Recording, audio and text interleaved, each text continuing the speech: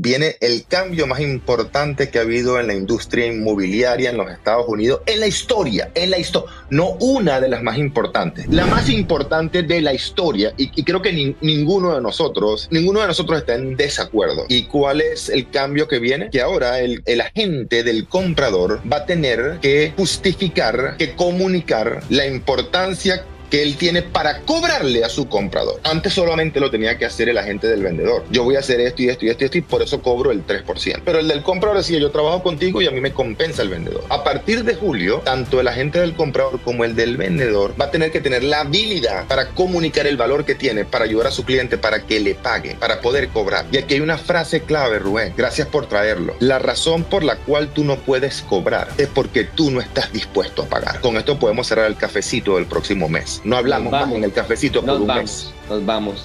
Entiendo lo que acabo de decir. Si tú no estás dispuesto a pagar, nunca estarás en posición de realmente poder cobrar. Tu impedimento interno de querer pagar para mejorar te impide a ti internamente, literalmente poder cobrar, porque tú sabes internamente, no es lo que dices, es que con tu energía, con tu forma de hablar, comunicas que no tienes confianza en ti. Cuando tú pagas, estás comprando qué confianza, que es lo más importante que le da a tu cliente. Confianza, tú estás validando de que estás invirtiendo en ti, estás validando de que has invertido el tiempo, estás validando de que tienes el conocimiento, estás validando que estás trabajando para desarrollar las habilidades, estás validando que estás relacionándote con personas de alto nivel, lo que te va dando a ti la confianza. Y me preguntaban la semana pasada, antepasada, yo le decía, eh, Leo y, y, Michael, si pudiera decir una cosa que para ti fue lo que marcó tú, yo te digo, yo compré confianza desde el primer día que entré a esta industria. ¿Y qué es lo que hice? Pagar siempre pagarle desde el primer día a un coach dinero que no tenía, dinero que no, y el primer año fueron 60 mil dólares, estamos hablando hace más de 20 años.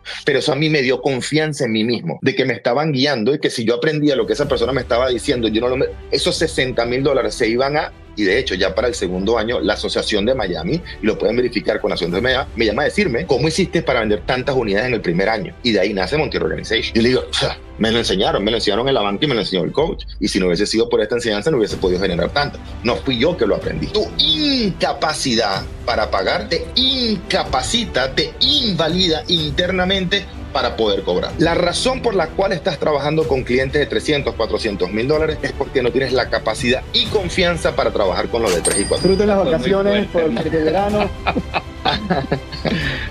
Queremos que otras personas inviertan con nosotros cuando nosotros no estamos dispuestos a invertir en nosotros mismos. ¿Ven la incoherencia? Y eso se nota. En la conversación con tu cliente se nota tu incoherencia. Y después uno dice, no, es que el cliente no me llamó, el cliente no me contestó, el cliente se perdió, el cliente compró con otra persona. Porque hay una incoherencia que no está dicha en las palabras, pero que se comunica en toda conversación. Que le dice al cliente, yo no confío en mí, porque yo no he invertido en mí. Gracias, Rubén, por traer ese tema. Entonces la pregunta es en junio, ¿qué tanto vas a invertir en ti? Que era de las otras preguntas. y, y el libro no es suficiente, pero ¿qué libros vas a estudiar, no leer? ¿Qué libros vas a estudiar? ¿Qué libro? Quédate en uno. ¿Qué libro vas a estudiar en el mes de junio? Ahí comienza. Obviamente no es suficiente. Una inversión de 20 dólares no te da lo que realmente te da un curso, te da un seminario, te da un mastermind, etc. ¿Qué libro vas a estudiar en el mes de junio? Orlando, yo creo que es un tema que nos, aquí como que todo el mundo fue, nos movieron el piso y gracias Rubén por traerlo. Tú le diste, por supuesto, una profundidad más, más, más interesante, pero aquí la evaluación es, o la recomendación es, ¿por qué no una vez más en esa planificación vamos a invertir? En esa planificación compremos acceso, en esa planificación contrate un asistente de verdad, en esa planificación traiga a alguien al equipo, en esa planificación eleve la, la el estándar en esa planificación, visualícese como un profesional, como un empresario. En esa planificación es lo que queremos que podamos, que podamos ir experimentando con nosotros mismos, porque creo, Orlando, que lo que mencionas es clave. Yo no puedo pretender cobrar algo por lo cual yo no he pagado el precio. Exacto. Ah, oye, lo dijiste exactamente. Yo no puedo pretender cobrar por algo y a partir de julio ustedes como agentes de comprador van a cobrarle a su comprador y como agentes de vendedor siempre le han cobrado al vendedor. Yo no puedo pretender cobrar por algo cuando yo no he pagado el precio para realmente poder cobrar. Pamela dice, gracias por esa bofetada, ¿no?